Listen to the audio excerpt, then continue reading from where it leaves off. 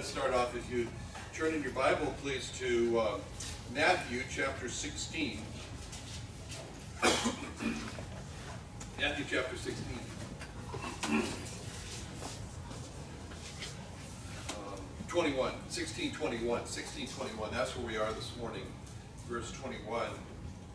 Um, really, we're, we're going to be covering this morning uh, three verses here 21, 22, and 23. But we'll just read the whole thing for context, which is 28. Okay, let's. Father, help us now, we pray in Jesus' name. Amen. Matthew 16, 21. From that, ten, that time forth began Jesus to show unto his disciples how that he must go unto Jerusalem and suffer many things of the elders and chief priests and scribes, and be killed and be raised again the third day. Then Peter took him and began to rebuke him, saying, Be it far from thee, Lord, this shall not be unto thee. But he turned and said unto Peter, Get thee behind me, Satan, for thou art an offense unto me, for thou savorest not the things that be of God, but the things that be of men. Then said Jesus unto his disciples, If any man will come after me, let him deny himself, take up his cross, follow me. For whosoever shall save his life shall lose it. Whosoever shall lose his life for my sake shall find it. For what is a man profited if he shall gain the whole world and lose his own soul? What shall a man give in exchange for his soul? For the Son of Man shall come in the glory of his Father with his angels, and then shall he reward every man according to his works. Verily I say unto you, there be some standing here which shall not taste of death till they see the Son of Man coming in his kingdom.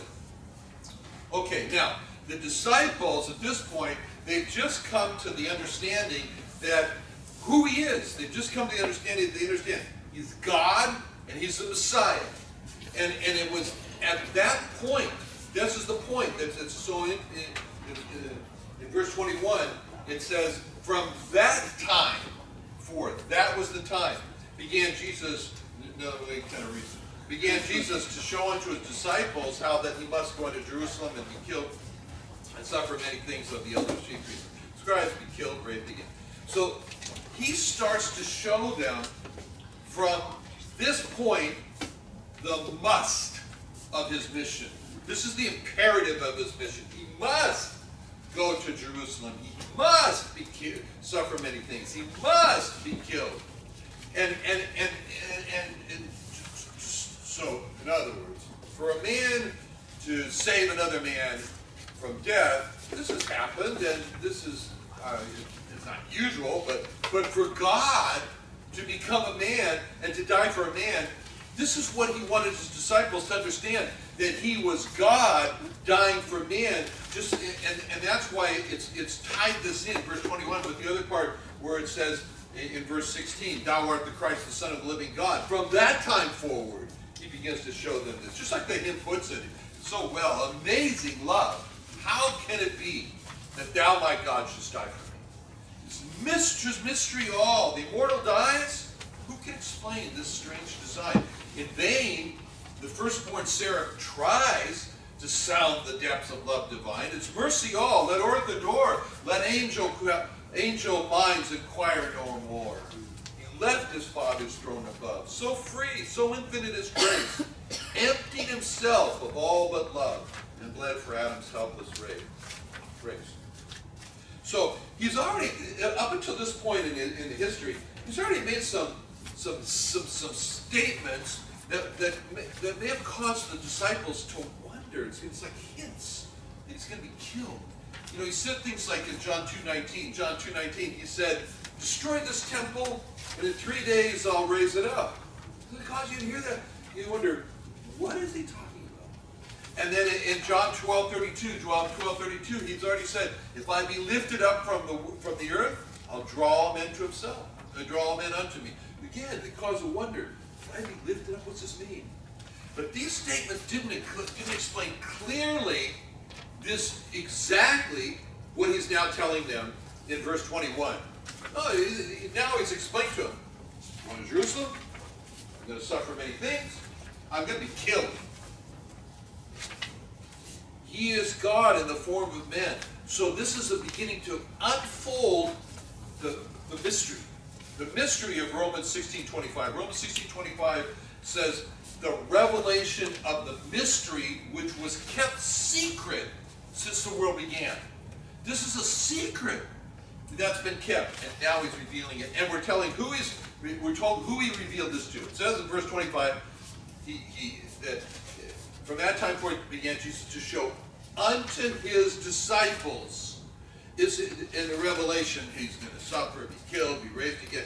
Not to the multitude, not to the people. They, they, they, they were, this was told just to the disciples and how fortunate they were to, to find this out, as has already been explained in Matthew 13, 10. Matthew 13, 10, when the disciples came and said to him, Matthew 13, 10, Why speakest thou unto them, the multitude, in parables? He answered and said to them, Because it is given unto you to know the mysteries of the kingdom of heaven, but to them it's not given. So this is the this was the the, the to whom this revelation was given, and then he reveals the where, the place, in verse 21, he must go unto Jerusalem. Now, he spent a lot, he spent almost his time in Galilee, up in the north. He's up there in the, in the north. He's ministering to the, really, the, the Galilee could be kind of considered the outcasts of Jerusalem. You know, when you get thrown out of Jerusalem, where do you go? You go to Galilee. You know, you, you go up there and, and, and the people, it's like it's like the Tijuana of Mexico. I shouldn't say that. Anyway, it's like uh, I remember one time I went down to uh, Mexico City with our group, and we were uh, we went to the Ministry of Health there. We were trying to get permission to uh, to inject uh, to have a therapy that would uh, save people from sepsis, sick people. And so we were talking to the, the, the head of the Ministry of Health there in Mexico City, building, Mexico City, big, beautiful place, Mexico City. Anyway, big place. And I, I remember um, I was, was, sitting there at the at the table. We saying, you know, we got this thing. We want to go to La Raza. We want to go to the military hospital and find the people dying of sepsis and check And the guy said to me, he says, he said, no worries, you're in Tecate. I said, not Tecate. He said, is that is that part of Baja California? I said, yeah, it's part of Baja California why aren't you in an important place? Why aren't you in Mexico City or Monterrey or Guadalajara? What is this Galilee stuff? You know, John 7 25, John 7 20, 7 52, 7 52. They answered and said to him, Art thou also of Galilee? Search and look. For out of Galilee ariseth no prophet. And Nazareth, which is part of Galilee, Nazareth in John 146, Nathanael said unto him, Can there any good thing come out of Nazareth? So, well, Galilee was his home. Galilee was the center of his activities. Galilee is where he was welcome, and his, his, his but but he's saying here his greatest accomplishment is not going to be in Galilee. It's going to be in Jerusalem, the capital city, the Mexico City of, of Israel, the center of Judaism, the headquarters of the religious rulers. This is going to be the place where he's going to suffer, he's going to die, and he's going to be resurrected. It was at Jerusalem. Jerusalem. Why was Jerusalem so important? It was the center of sacrifice. There were three times in the year when all the males had to come to Israel, I mean to Jerusalem, and they had to come not empty-handed. In other words, with sacrifices in their hands. Deuteronomy 16, 16. Deuteronomy 16, 16. Three times in a year shall all thy males appear before the Lord thy God in the place which he shall choose. In the feast of unleavened bread, or Passover, and in the feast of weeks, or Shavuot, and in the feast of tabernacles, or Sukkot, and they shall not appear before the Lord empty. Jerusalem was the place of the sacrifice. You didn't make sacrifices in any other place. You came to Jerusalem, and that was the place where the Passover lamb was killed. Therefore, the Passover lamb of God had to be killed in Jerusalem. That's Jesus. And so he's told them why. He's told them now he must go to Jerusalem. And then he's going to tell, and then he told them what's going to happen in Jerusalem. In verse 21, he says, suffer many things, be killed, be raised again. Now he's told them the where, it has to be in Jerusalem. He's told them the the uh, the, the, the who is going to do these things, suffer many things of the elders and the chief priests and the scribes, because they made up the religious court. They made up the Sanhedrin. And they and, and, and this told the disciples that he's going to be tried. He's going to be found guilty. He's going to be executed, uh, punished, executed of a crime. And this group of the elders and the chief priests and the scribes were the people who should have been the first to worship and follow Christ. They should have been those who led and brought the people of Israel to worship and obey Christ. That's what they should have, that was their role. But this was the group who hated him the most. This was the group who led the people of Israel to call for his crucify him, crucify him. And, and then he, he describes how he's going to suffer many things, he says, and then be killed. So when he says this, he's going to suffer many things.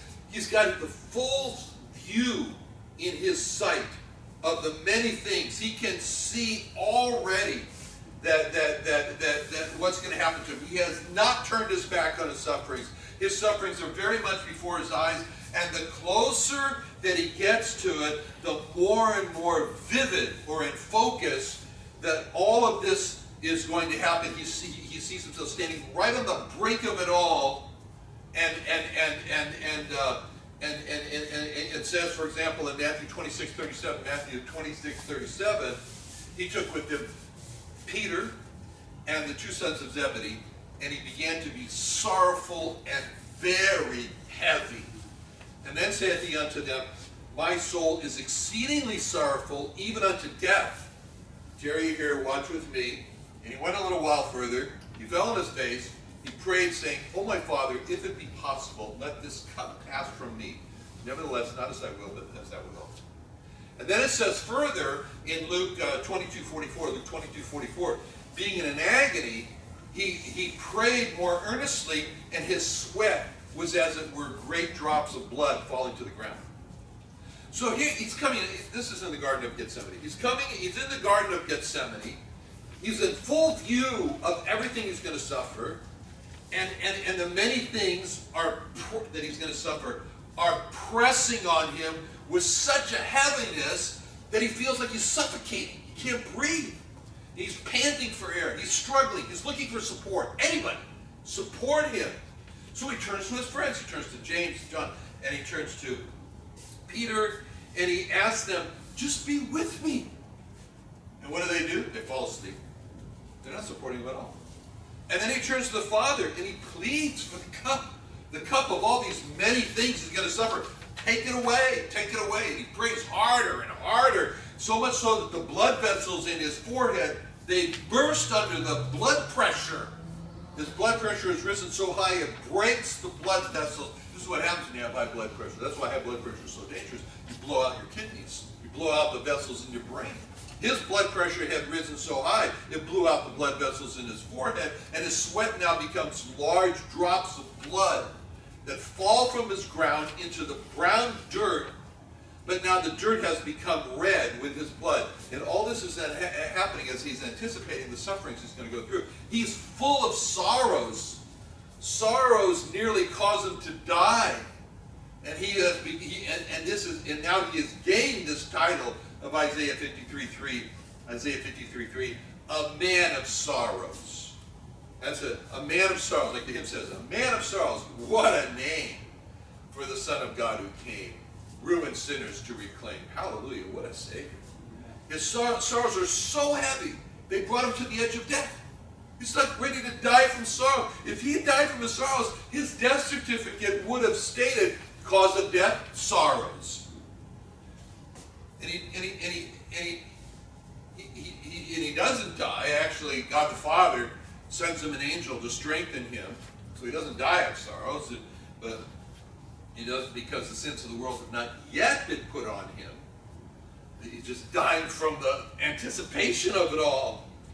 And, and, but, but because his purpose for his death must be to receive the sins of the world. They will be placed on him. He will die with those sins of the world on him, but not yet. So he so at this point, he in, in Matthew 16, where we are now, he sees his eventual death for those sins, and, and he just says the word, he will be killed. Now, when you read this, and when I read this, given the way we, it just sounds so bleak. It sounds so sad. It sounds so hopeless. Suffering in, in, in what sounds like a public humiliation. He will be stripped naked, being tortured to death. And, and, and, he, he, he, and, and he's not crushed under this horrible anticipation where he is right now. He doesn't die under the weight of sorrows. Why? Why doesn't he die from the, the horrible anticipation? Why doesn't he die under the weight of the sorrows? Because the reason he doesn't die is because his eye has now changed from, from, from, from his sufferings to a wonderful sight. He sees something wonderful, like a joy. And he plugs it right in at the in, in, in, in verse 21, verse 21, when he says, and be raised again the third day. And he's quick to put that in there. And be raised again the third day. So it goes like this, verse 21, and be killed and be raised again the third day. It's a huge transition for him. In verse 21 where it says he must go to Jerusalem, that's downer, that's depressing. Suffer many things, that's a downer, that's depressing. By the elders and the priests and the chief, uh, chief priests and the, and the scribes, that's a downer, that's depressing. And be killed, that's a downer, that's depressing. And be raised again the third day, that's an upper, that's joyful. And you can be sure that when the Lord said, verse 21, that his voice changed, and he was quick to finish up that dismal description with that final statement, and be raised again the third day. And that was, that was, that was, that part was just not spoken with the sorrowful, dismal tone. From that time forth, verse 21, from that time forth began Jesus to show unto his disciples how he must go unto Jerusalem he begins to show to his disciples how. This one side begins to show, that's an important word, how. He begins to show unto his disciples how, grab a hold of that word, how he must go unto Jerusalem. Because when he describes how, there's two sides of that how. One side of that how is he showing them how of what will happen to him, how he's going to be suffer many things, how he's going to be killed. But the way he so quickly added in that last statement, and be raised again the third day, he's showing them another side of the how, another how, how he will be able to endure it. How is he going to do it? And when the Lord said how, it was going to be in verse 21, he's going to go to Jerusalem, suffer many things of his enemies, and then be killed. He, he, sorrow is set before him. But when the Lord said that how, in verse 21, he'd be raised again the third day, the Lord has set joy in front of him. He sees his own resurrection from the dead, and he sees joy. It's the joy of himself being raised from the dead. Never experienced that before himself being raised to dead on the third day. And this has enabled him to endure the sufferings and, and, and, looking down on the shame that he's going to endure in verse 21 and just say, Shame, I despise you. And this is his secret. This is his secret for enduring the suffering of many things. It's the joy of the resurrection that is set before him. And this is, when we look at Jesus, this is what we see in Hebrews 12 2. Hebrews 12 2 looking unto Jesus, the author and finisher of our faith, who for the joy that was set before him endured the cross, despising the shame, set down at the right hand of the throne of God. So he has brought that joy of resurrection into his sight, and it's the same joy of resurrection he's already brought to others. He brought it to Jairus' daughter, he brought it to that boy the young boy in the coffin. He brought it to Lazarus, and he was so happy to raise them from dead, from death. And he's gonna, and he'll bring that joy of the resurrection to all of his followers, and he'll be so happy to raise them out of death. And now it's his turn. It's his turn to experience the greatest. What does it say about Disneyland? The happiest place on earth. This is the greatest ride in the universe, the resurrection. It's going to be a, it's a joy that's set before him. He can hardly wait. He can't wait. It's the joy of experiencing the resurrection that is set before him that's enabling him to endure the sufferings he's talked about in verse 21. You know, we, we can endure a lot if we have something wonderful to look forward to afterwards. He endured the cross because he had something to look forward to afterwards, the joy of the resurrection. And that's why he's so quickly added in verse 21. Be killed and be raised again the third day. His own resurrection was only part of the joy. His own resurrection was only part of the joy that was set before him that enabled him to endure the sufferings. There were many other things. Another joy Hebrews 2 9 and 10. Hebrews 2 9 and 10.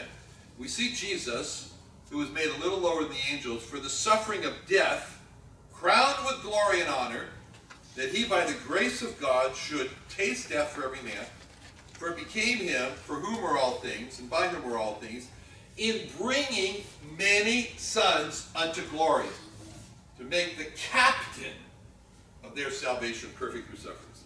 So there's two joys in these verses of Hebrews 2, 9 and 10. First, there is the joy of being crowned with glory and honor. Forever, he will, after this, be seen and known in heaven as Revelation 5 6. Revelation 5 6. I beheld, and lo, in the midst of the throne of the four beasts, in the midst of the elders, stood a lamb as it had been slain. God has never, ever, ever been known as a lamb that was slain uh, for the sins of men. This is the first, first time. And this is a joy for him to be crowned with the glory and honor of becoming God the Lamb that was slain. And forever he's going to be seen in heaven as God the Lamb that was slain. Forever, he, forever he's going to be glorified and honored in heaven by all the saved as they point to him and say, He's the Lamb of God. He's God the Lamb who took away my sins. That's going to be a joy for him for eternity. Forever, the saved in heaven will see him and say, He's the reason I'm here. He's the reason I'm in heaven because he is my lamb, died for my sins. That's going to be a joy for him for eternity to have that, to be crowned with that glory and honor of God, the Lamb of God, who took away the sin of, took away the sin of the world, took away sins. So that's the first joy that's before him in the, the Hebrews 9, 2, Hebrews 2, 9, and 10. To be crowned with the glory and the honor of being the Lamb of God who took sin away. And that joy of being crowned with the honor and glory of God the Lamb slain enabled him to endure the cross of verse 21. And So there's a second joy in Hebrews 2, 9 through 10. Hebrews 2, 9 through 10. The second joy is bringing many sons unto glory. That's a particular joy for him. Can you imagine just imagine that they're a, a cave, a, a mine, a, a shaft collapses, and there's trapped miners down there. And, and, and the rescuers work diligently, and they, they, they, they, they free up the escape route. And that first rescuer who goes down there, imagine how joyful that is for that first rescuer. Yeah, that's who he is. He's bringing many sons uh, to glory. His followers have already seen him in, in, in, in, uh, humiliation. They're going to see him in a suffering. And when that happens, when that happens, he's going to be the first one to go down to the mine shaft and bring out those miners. And in John 17, 24, he said, John 17, 24, he prayed to the Father, Father, I will that they also, whom thou hast given me, be with me where I am. That they may behold my, the glory which thou hast given me, for thou lovest me before the foundation of the, of the world. He wants so much to bring them out of the mine shaft into glory so they can see his glory. He wants to show them his glory. He's excited to show them heaven. It reminds me of my wife Cheryl, just before she died. It was obvious she's going to die. She knew she was going to die. And she said to me these words. She said, you know, all my life, uh, I, have I've lived a sheltered life. She did, you know, in Ohio there sheltered life, and she said to me, but you, you went over to Europe and Switzerland and all these places, and you knew so much more about the world than I did, she said. And you were always showing me things that I didn't know. And she said, and that frustrated me. She didn't like that. And so she said, now I'm going to heaven before you, so that when you come to heaven, I can show you things you didn't know.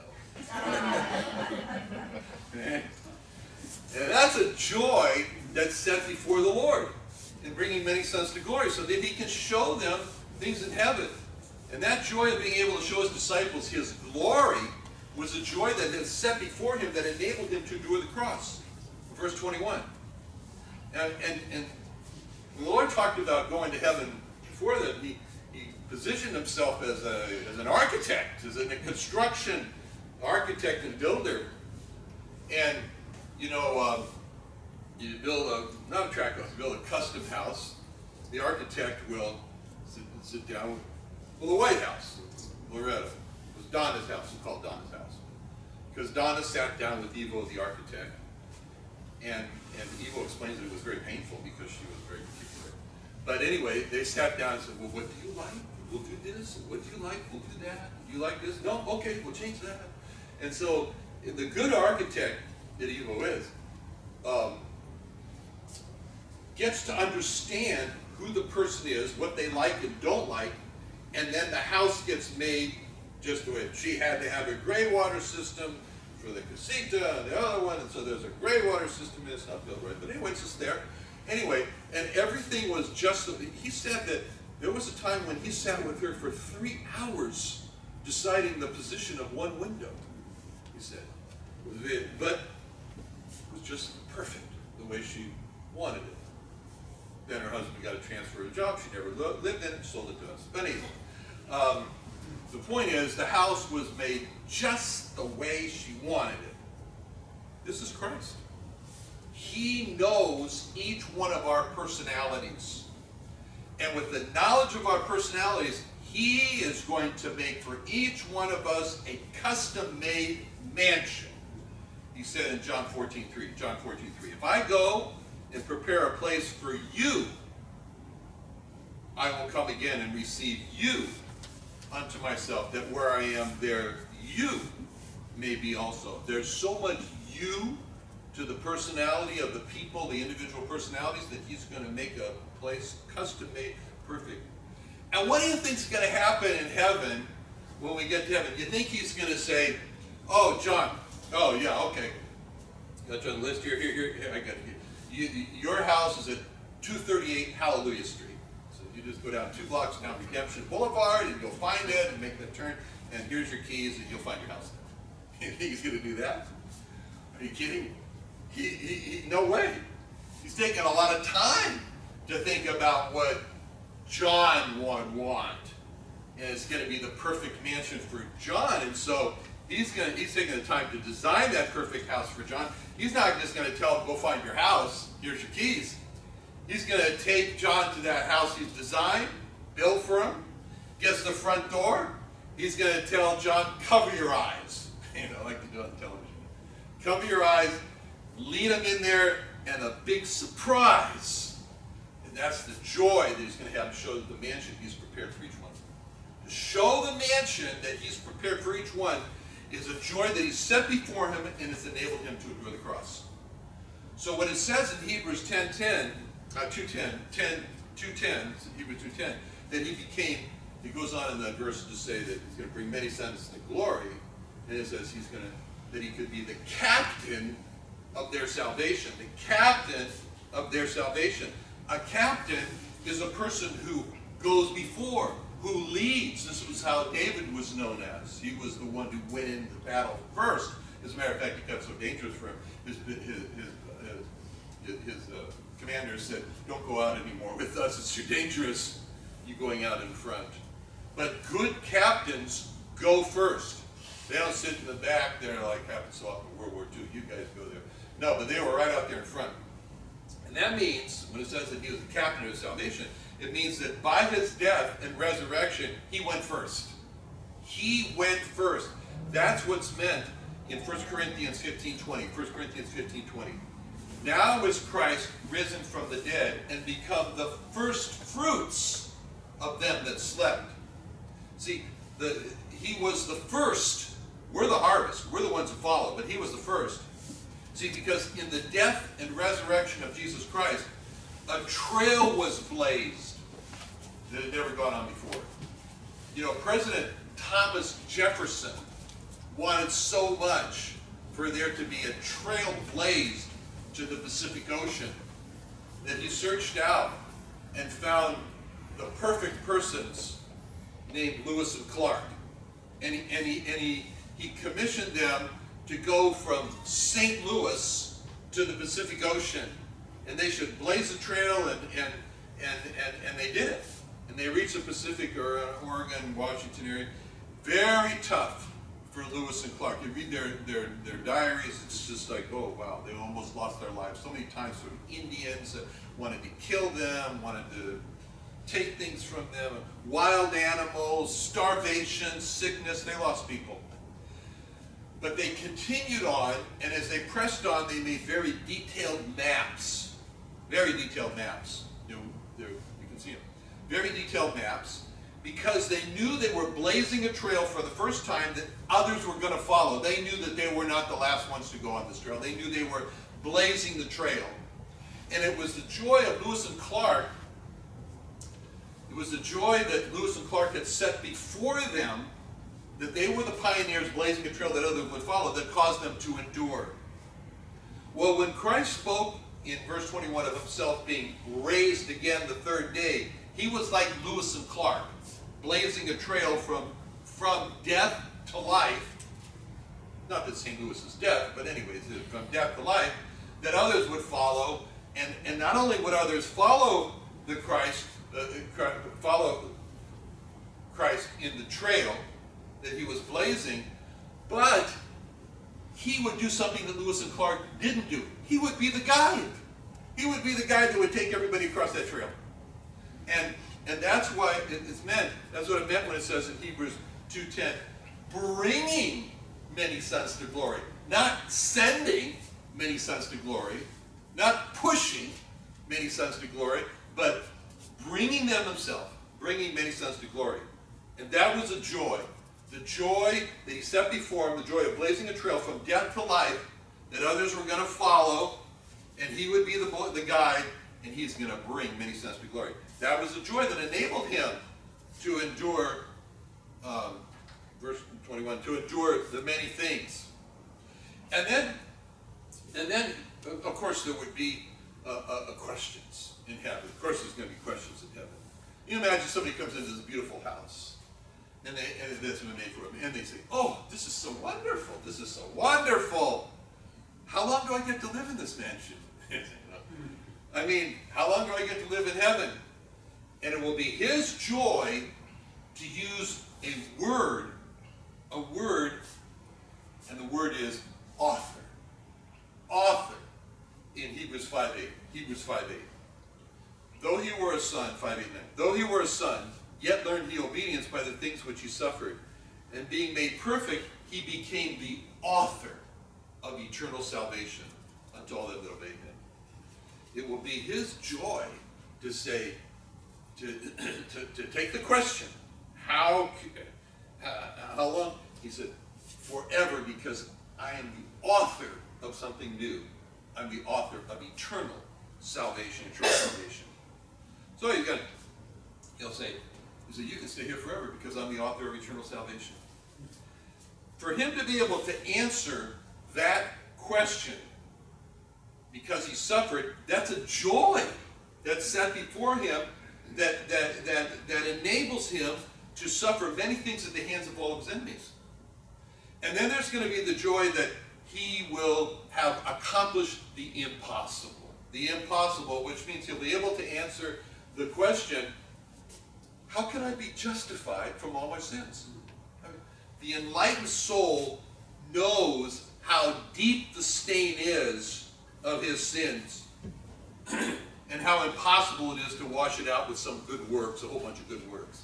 The enlightened soul knows that knows what the answer to the question that was asked Jesus is. In Matthew 19, 16, Matthew 19, 16, Behold, one came and said unto him, Good master, what good thing shall I do that I may have eternal life? The answer to that question is nothing. You cannot. The stain runs too deep. There's nothing. Hmm.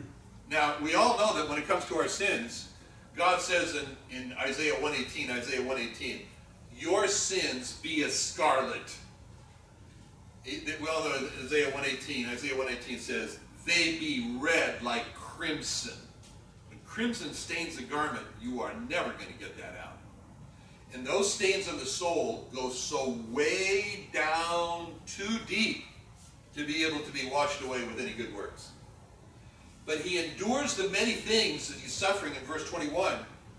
And he set those things before him. The joy that he set before him is that his blood will, will, will, will wash those stains out. Revelation 1.5, Revelation 1.5. Unto him that loved us and washed us from our sins in his own blood. So he endures these things because he knows his blood is going to be able to wash the sins away, and that is a joy for him, and that's what he puts in front of him. And then he also knows about his blood. 1 Peter 1.18, 1 Peter 1.18. You know that you were not redeemed with corruptible things as silver and gold from your vain conversation received by tradition from your fathers, but with the precious blood of Christ, as of a lamb without spot, without, without blemish, without spot. So it's Christ's joy that he set before him to have the payment. A ransom has been found, it's his blood. And that's joyful. And then it's joy for him, for him, joyful for him to step in with a new role, a role that he has, which is a Hebrews 3.26 role, Hebrews 3.26. The, the role and the title that will be so joyful for him that he sees himself getting is he, Romans 3.26, the justifier. He's going to become the justifier. The devil is the terminator. But, but Christ is the justifier. Hebrews 4.5, Hebrews 4.5, him that justifieth. For Christ to become the justifier is a joy that's set before him, and, and, and, and there's only one way he could become the justifier, and the only way that he could be the justifier is Isaiah 53.11. Isaiah 53.11. With the travail of his soul that God will be satisfied with, by his knowledge shall my righteous servant justify many, for he shall bear their iniquities. Jesus will become the justifier, that's joyful for him, when he suffers the load of our iniquities. And he sets this joy of becoming the justifier before him and enables him to endure all these things in verse 21. But the greatest joy, these are not the greatest joy. The greatest joy that he has set before him is this. He had a charge from God the Father. And that charge was that he should become the Son. Psalm 2, Thou art my Son, this day have I begotten thee. Begotten thee. There was a day when he, the second person of the Godhead, became the Son. And the Son, the charge that God the Father gave him as the Son is that he would be sent.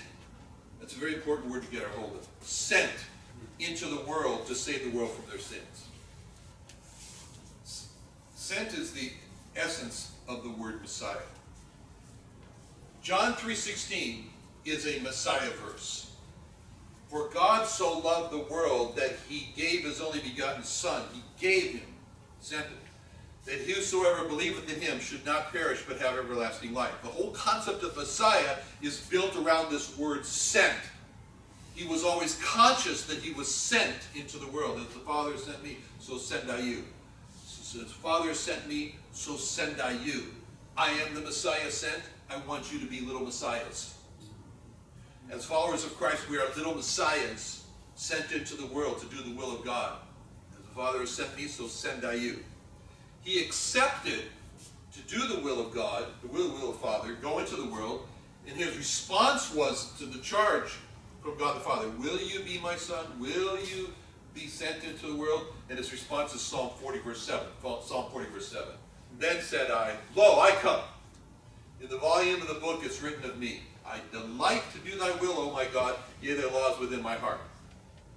And as followers of Christ, our greatest victory over ourselves, over ourselves, is when we accept to do the will of God over and against our will. And he obeyed the Father's will. John 4.34 and John 4.34. Jesus saith unto them, My need is to do the will of him that sent me and to finish his work. And our greatest moment is when we obey God. That's our finest moment. And the greatest joy he has, therefore, in life, the greatest joy, is to receive the reward of pleasing God the Father. Now, there's a verse that he spoke that we always think, oh, that applies to us. No, applies to him also in Matthew 25, 21. Matthew 25, 21.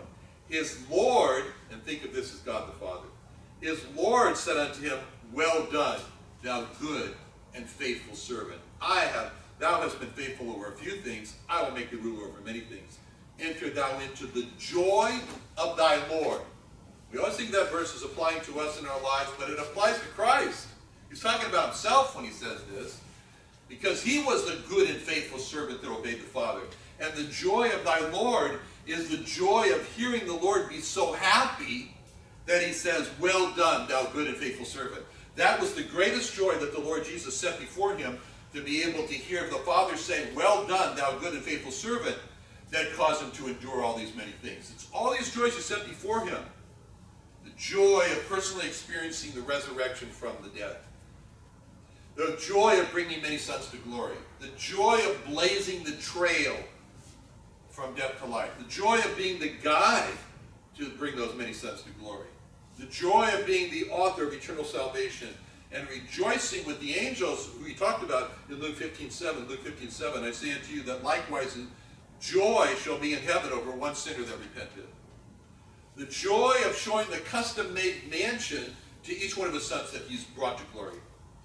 The joy of showing those many sons his glory that he spoke about the joy of being the justifier of the ungodly, the joy of washing their sins away with his blood, the joy of redeeming lost souls with his blood, and finally, the joy of hearing the Father say to him, Well done, thou good and faithful servant. All that was part of what made up the joy that he set before him to endure, verse 21, suffering many things. And the more we see the joy that Jesus set before him, the more we'll understand how he held up under all that burden in verse 21. That's the Hebrews 12 2. Hebrews 12 2. Who for the joy that was set before him endured the cross. The more we set that joy in front of us, the more we'll be able to endure our hardships, like Becky Mader wrote to me this last week. She wrote, Hi Tom. It hardly seems possible that our time with my mom in San Diego is over. I wanted every moment to stretch out, and it was so hard to say goodbye the night before we left. My great consolation was the thought of heaven. No more goodbyes than to be with Jesus. See, the joy that Becky set in front of her was the thought of heaven. No more goodbyes than to be with Jesus. We endure as Jesus did when we set joy before us. And one of the reasons that the Lord told his disciples in verse 21 that he's going to suffer all these many things and so forth was that he didn't want them to be surprised about what's going to happen. So that they would understand that what was going to happen to him was the reason it was all going to happen to him was because of Acts 2.23. Acts 2.23. Him being delivered by the determinate counsel and foreknowledge of God. You've taken it with wicked hands have crucified and slain. When it says that in Acts 2.23, the determinate counsel and foreknowledge of God, that means the sufferings of Christ and the death of Christ was not a surprise to heaven. As a matter of fact, the words determinate counsel, counsel means there's more than one person involved in this discussion. Determinate means there was a decision, a conclusion. So the sufferings of Christ, the death of Christ, were discussed in advance. And they were agreed upon by Christ as God the Son and by God the Father. That's the reason Christ walked right into the hands of his captors. He walked right into the hands for the suffering. And that's described in John 18.3. John 18.3. Judas then, having received a band of men and officers from the chief priests and Pharisees, cometh thither with lanterns and torches and weapons. Jesus, therefore, knowing all things that should come upon him, went forth and said unto them, Whom seek you? So he's not trapped by his captors. He could have escaped at any moment. He knew exactly what was going to happen to him, and that's what he was describing, verse 21. And he voluntarily walked right into their hands. John 18, 4. John 18, 4. Jesus knowing, therefore, all things that should come upon him went forth.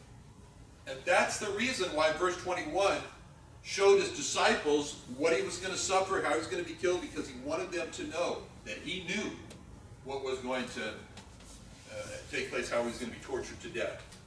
And he wanted them to know he had agreed to be taken and tortured to death. The determining counsel. Okay. But this message that Christ agreed with, that he's going to be taken, tortured to death, it didn't set well with Peter. And Peter immediately tried to stop that kind of talk about sufferings and being killed in verse 22. Verse 22. Then Peter took him, began to rebuke him, saying, Be it far from thee, Lord, this shall not be unto thee. For Peter, it didn't matter if Christ agreed or not. For Christ as his leader to be publicly humiliated, stripped naked, have his skin ripped off of his back, have the hairs of his beard pulled out, be beaten to a pulp, publicly tortured to death on a cross. No, no, no. That's over the top for Peter. Absolutely not. Not for Peter. So Peter got pretty bold in verse 22 when it says Peter took him and began to rebuke him. I don't really know what he did when it says Peter took him. Maybe Peter grabbed a hold of Christ and shook him and said, shake that idea of suffering and being killed right out of you. And for that matter, Peter was always the chief speaker. So for the, the, the disciples, he always said what nobody else wanted to say. And so he, he, he, he, evidently we conclude that all the rest of them agree that was a terrible idea for Christ to be suffering and be killed like that. Now the Lord has just said in verse 21, he must go unto Jerusalem. He uses the word must, must. And, and Peter has just said, this shall not be in verse 22. Verse 22, this shall not be. So Christ said in verse 21, Christ said in verse 21, this shall be. And, and Peter says in the next verse, it shall not be. As, as a matter of fact, Peter, when he does this, he uses a word that he should not have used. It doesn't match what he said at all. And that word is Lord in verse 22. Verse 22, Lord, this shall not be unto thee. You can't say that. You cannot say no and Lord together. It's either yes, Lord, or it's just no without saying Lord. Because to call him Lord means you accept his will, which is why Christ said and asked the disciples in, in, in Luke 6.46, Luke 6.46, he says, why do you do that? He says, Luke 6.46, why call ye me Lord, Lord, and do not the things which I say. He's saying, you can't do that. You can't call me Lord and then say no. You can't call Christ Lord and not, and not do what he says to do. And there's only two responses. It's either yes, Lord, or simply no, but not no, Lord. And that's what Peter said in verse 22. In verse 22, he said, no, Lord, this shall not be to you. And that's, that's the way it is in our lives. We cannot say, we cannot call Jesus Lord and say no. Because if we say no, he cannot be our, called our Lord. He can only be our Lord if we say yes. So Peter's protest here brings a pretty quick and strong response back to Peter in verse 23. Verse 23. But he turned and said unto Peter, Get thee behind me, Satan, for thou art an offense unto me, for thou savorest not the things that be of God, but the things that be of men. So when it says he turned, I don't know what Peter did. Peter put his hand on his shoulder but whatever he did, when it says he turned, you can just picture the scene of how serious this was for the Lord Jesus, as if the Lord spun on his heels to confront Peter. I mean, this was his friend. This is his dear friend, Peter. Had, and, and Peter was standing in the way of Christ right now. Christ is on his way down that road of suffering, down that road of death, down that road to the cross and the resurrection. And so we can just we can just picture that in verse 21. He's going down the road. We can picture Christ with his words, pointing himself down the road to sacrifice in order to accomplish all those joys that set before him. And now Peter stands in the way of his road. He's blocking the way. He's blocking the way of Christ going down that road. doing the Father's will to bring many sons to glory. And the Lord is not going to let Peter block his way. Not going to let him stand in his road. Actually, there were many obstacles that stood in, in, in, in, in the road that Christ was on, in the way of the Lord going down the road to the cross. This was just one roadblock he had to move out of the way. This was a roadblock of his dearest friends trying to stop him from going to the cross. And here he pushes that roadblock of his friends out of his way. There was a roadblock of his own personal will, how he felt about it, to try to stop him from going to the cross, which we already quoted. Matthew 26, 39, Matthew 26, 29, when he fell on his face, prayed, saying, Oh, my Father, if it be possible, let this cup pass from me. Nevertheless, not as, my, as I will, but as thou wilt. I will was a roadblock for him. That was a roadblock for him, trying to stop him in the Garden of Gethsemane from going to the cross, and he had to push that out of the way. And as with Peter, as with his own will, there were other roadblocks that stood in the way of him going to the cross. And the Lord pushed all those roadblocks out of the way as he moved down the road to the cross. And he says in, in verse 23, Get thee behind me. Now he says, Get thee behind me, because he was moving down the road, the cross, and anything that was, in, that was blocking him was in front of him. And so he's going to push it out of his way so that roadblock would become behind him, no longer block his way. Whatever roadblock he saw in the, in the wind, in his windshield was in front of him, and he was determined to see that roadblock in his rearview mirror behind him. So when the Lord said to Peter in verse 23, Get thee behind me, that's the same as the Lord saying to Peter, Get in my rearview mirror as I watch your opposition to me going to the cross get smaller and smaller because I'm moving. I'm moving toward the cross. And this is what the Lord meant when he said to Peter, with his opposition, Get thee behind me. Get thee behind me. Now the Lord says something very shocking when he says in verse 23, He turned and said unto Peter, Get thee behind me, Satan. He said, he said to Peter, Get thee behind me, Satan. Imagine his disciples looking at each other and saying, Satan? He's talking to Peter.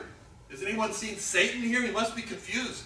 He's talking to Peter. He's not talking to Satan. One of his disciples might have come to him and said, Lord, you made a mistake. That's Peter you're talking to, not Satan. But the Lord didn't make a mistake. And that was Satan he was speaking to. Because, it, it, because Peter was speaking for Satan.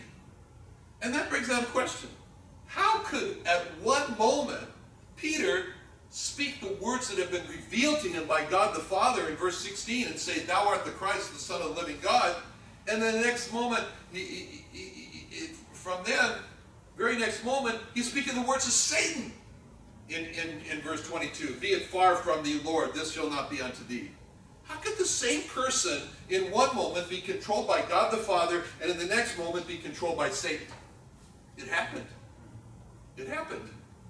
And what that means for us is the words of the hymn, My soul, be on thy guard. Ten thousand foes arise.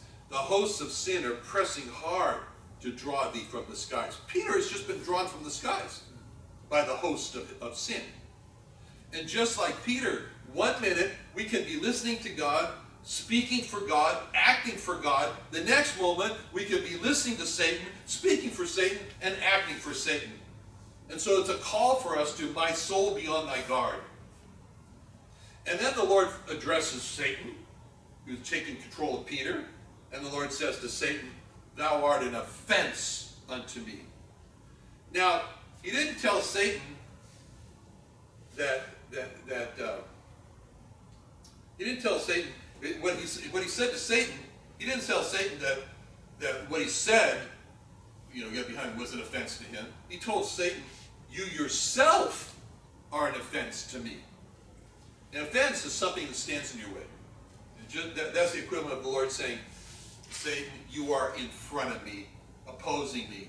I see you in my front windshield, and, and you block my way from going forward. You're in my way. You're an offense to me. I'm going to remove you out of my way, and I'm going to put you behind me so that I see you in my rearview mirror.